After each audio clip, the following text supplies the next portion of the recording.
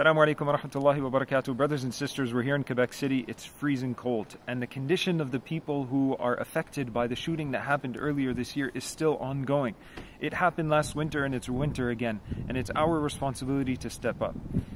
Currently, this weekend, we met and spent a lot of time with Brother Aymen, and he is still in the rehab center and looking to move back to his home. But his home is not conducive to his situation and his current state. So he needs to urgently purchase a house and he needs to mm, uh, solidify that deal and move his family into there and then do some renovations so that he can move in. Now that's difficult for someone to do when they can't work and his wife is looking after the family and the children and so on and so forth.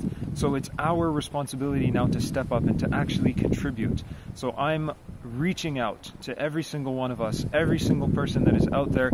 Let's do our part. Let us come together finish off this deal. Let us purchase this house for Brother Aymen so that he can live in a situation where will be a little bit easier for him. No doubt his condition doesn't change medically. He's still in a very, very bad state, but we need to do our part for him and for his family. Jazakumullahu khairan.